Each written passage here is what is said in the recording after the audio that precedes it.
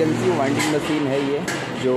इसको आप ceiling fan manufacturing या रिपेयरिंग पर्पज से आप यूज़ कर सकते हैं जैसे कि आप देख पा रहे होंगे यहाँ पे अलग अलग प्रकार के स्टेटर रखे हुए हैं